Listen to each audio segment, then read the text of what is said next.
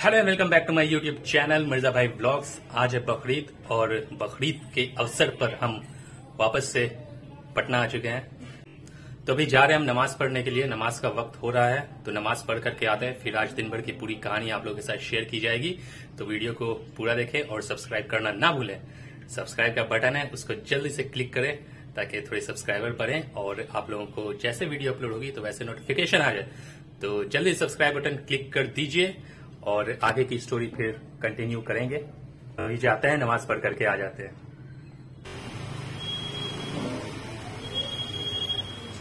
तो ये है अपनी मस्जिद जहाँ हम आ चुके हैं नमाज़ पढ़ने के लिए। अब थोड़ी देर में यहाँ नमाज़ स्टार्ट होगी। बारिश की वजह से लोग कम आए हैं। लेकिन उम्मीद है कि जब वक्त होगी नमाज़ की तो भीड़ हो जाएगी।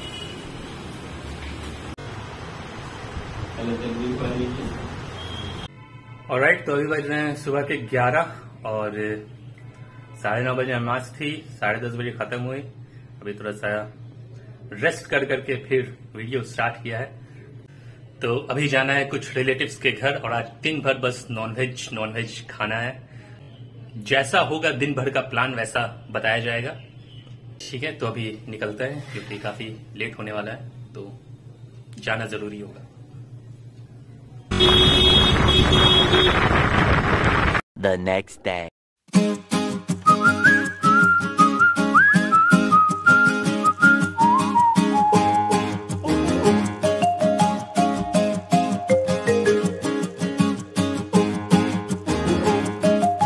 अभी हम लोग राजेंद्र नगर पहुँचे और काफ़ी लंबा यहाँ पे ट्रैफ़िक लगा हुआ है, इसमें दिखा रहा है पूरा लाल लाल खून हुआ हुआ है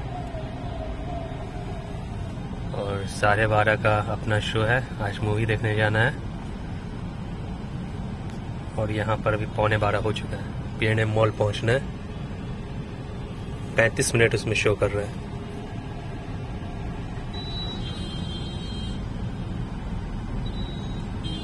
देखते हैं कितना टाइम लगता है। टिकट लिया नहीं गया है। वहीं से जाके टिकट लेंगे, क्योंकि बहुत सारी सीट खाली है। मौसम भी काफ़ी अच्छा हो गया है। सुबह में बारिश हुई थी अभी रुकी हुई है लेकिन पूरा बदली छाया हुआ है। ये आ गया गोकुल धाम सोसाइटी पटना में।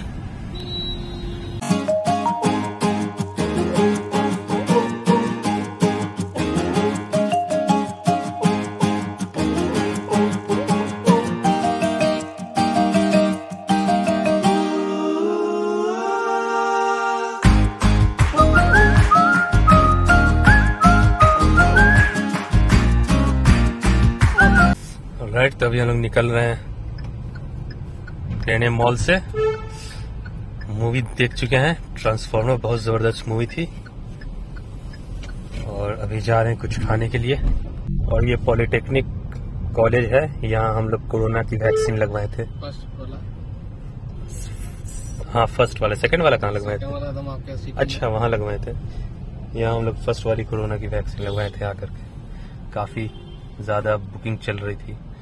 मतलब बहुत बुकिंग चल रही थी तो यही हम लोग को मिला था स्लॉट और मेरी तबीयत थोड़ी थोड़ी सी खराब लग रही थी सर्दी जुकाम हो गया है तो हम सोचे कि कॉफ़ी पी लेते हैं कोल्ड ड्रिंक नहीं पियेंगे। तो कॉफ़ी का जो प्राइस था वैसे तो हम कॉफ़ी पी लिए थे लेकिन प्राइस देख करके जो है आधी मेरी तबीयत ठीक हो गई थी और आधी तबीयत कॉफ़ी पीने के बाद ठीक हो गई। इतनी महँगी थी बाकी लोग पर हाँ, इतनी महँगी थी कि बस मेरी एक कॉफ़ी आ पाई।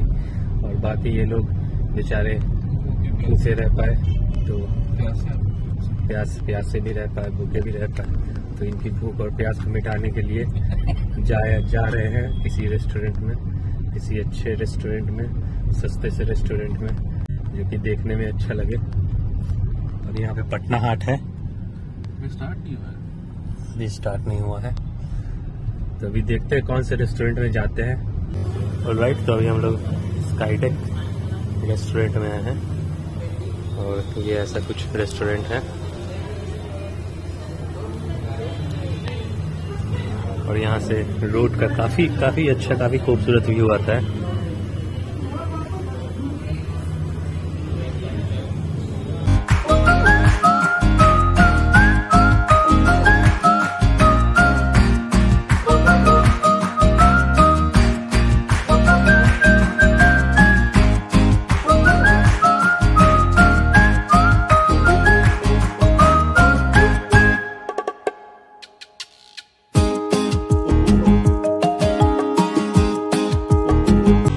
तो अभी हम लोग आए हैं मरीन ड्राइव पर क्योंकि जो हम लोग स्काई डेक में गए थे वहाँ खाना का उतना अच्छा एक्सपीरियंस नहीं रहा अच्छा खाना नहीं था। तो हम लोग जरा सा बस स्टार्टर टेस्ट करके बाहर आ गए और मैकडोनल्ड से बर्गर लिए हैं और मरीन ड्राइव पर आए हैं बर्गर खाने के लिए।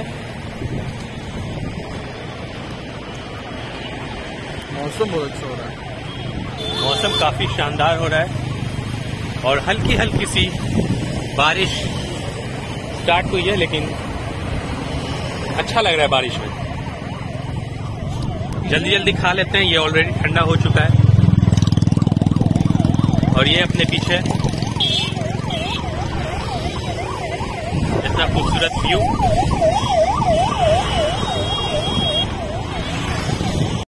क्या बात। है तो देखते ही देखते बारिश तेज हो गई। थोड़े बहुत भीग चुके हैं लेकिन चलेगा। और अब यहाँ से निकल रहे हैं। काफ़ी अच्छा पाँच दस मिनट का जो लम्हा था यहाँ काफ़ी अच्छा गुजरा। अब अगली बार पता नहीं कब ऐसा समा बंधे यहाँ पर। फ्रेंच फ्राइज ठंडा होने के बाद अच्छा लग रहा था। वाह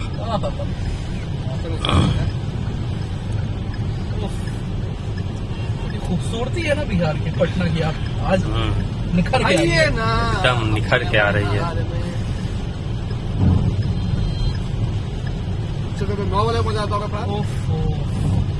तो क्या खूबसूरत लग रहा है। वाह। और यहाँ पर सब लोग भीगने से बचने के लिए ब्रिज के नीचे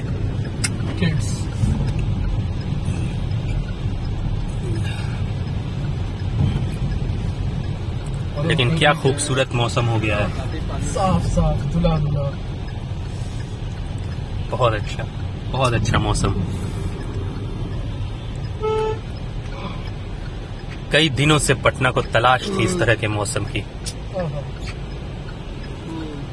जिस जगह पे आगे मौसम था में तब्दीली आई है ना। आहा लाजवाब। वर्थ यहाँ का आना।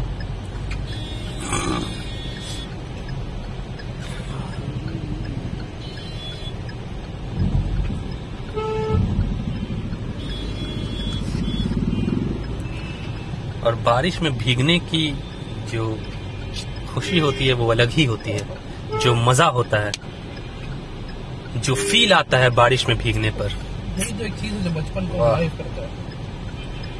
और जब इतनी अच्छी लोकेशन हो आहा।